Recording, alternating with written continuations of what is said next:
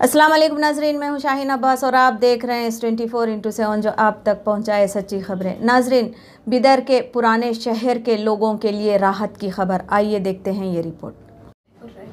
बिदर शहर के पुरानी बस्ती के तीन बल्दिया हलखजात को छोड़कर बाकी तमाम एरिए के रास्तों को खोल दिया गया है। ज़िला इंतज़ामिया की हिदायत पर हिदायत पर महकमा इंतज़ामिया के ज़िम्मेदारान ने आज पुरानी बस्ती के रास्तों को खोला। पुराने शहर के जिन बल्दिया हलकों में अब भी सील डाउन है, इन्हीं में बल्दिया हलका नंबर छः, सात और आठ शामिल हैं।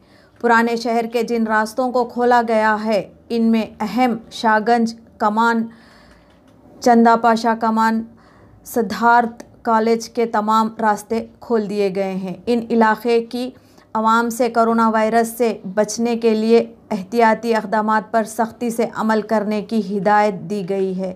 वाज़ा रहे कि बिदर शहर की पुरानी बस्ती के इन इलाक़ों को गुज्त तकरीबन दो माह से सील डाउन किया गया था। आज की बुलेटिन में इतना ही। देखते रहिए S twenty four into seven जो आप तक पहुँचाए सच्ची खबरें। खुदा हाफिज़। जय